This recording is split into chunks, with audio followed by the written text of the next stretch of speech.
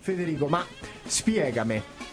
Quindi ci sono degli chef che usano questa carta e sono curioso adesso di sapere cosa hanno cucinato. Svelami qualche arcano, perché magari ho mangiato del cibo cucinato con carta fata e non lo sapevo. Cosa, sì. Quali sono i cibi che magari um, vengono cucinati più frequentemente, che sono ottimi da cucinare con carta fata? Hai un'idea? Secondo me il pesce. È nata, il pesce. È nata per il pesce. Le, esalta il sapore e la fragranza del pesce perché non lo asciuga e dà tutti i vantaggi che non usi il sale, quindi anche l'alimento stesso è ricco di tutti i suoi sali minerali, di tutte le vitamine che il pesce è molto ricco che normalmente nella cottura si perdono.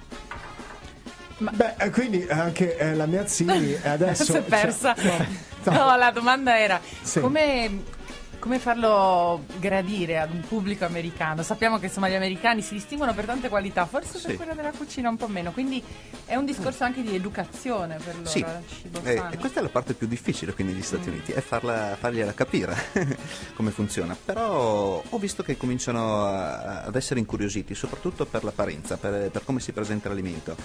Il pesce, adesso l'americano comunque secondo me sta migliorando, sta aprendo la mentalità alla tecnologia che sta entrando in cucina, che fortunatamente l'Italia come il resto dell'Europa è in grosso vantaggio sul pianeta, diciamo, perché sono i più grandi maestri a mio giudizio vengono dall'Italia e Francia e Europa, diciamo.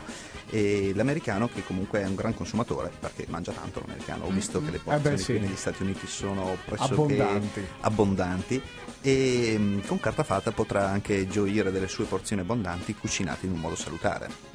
Quindi un hamburger un po' più salutare. Eh beh, certo. non solo quello. Hamburger no, dai, non Magari è solo no, quello l'hamburger. Non esageriamo. Eh. Senti, eh, ma Fabri- eh, Federico, scusami, sì. dove possiamo trovare questa carta? È reperibile sul mercato? Ovviamente tramite il mio website qui negli Stati Uniti che è www.decorfooditaly-usa.com Se lo ripetiamo www.decorfooditaly-usa.com Ricordatevi il trattino pochino perché serve Federico per Zampieri ha una voce da jazz. Sì, una voce Infatti, sta, state sì, ascoltando sì, sì. Carta Fata. Carta Fata. Carta fata È venuto a farti concorrenza. Hai capito? No, ma la jazz mi sta bene, pensavo mi dasse un altro No, non era jazz, jazz non era una parolaccia. Ah, ok, ok. No, no, no.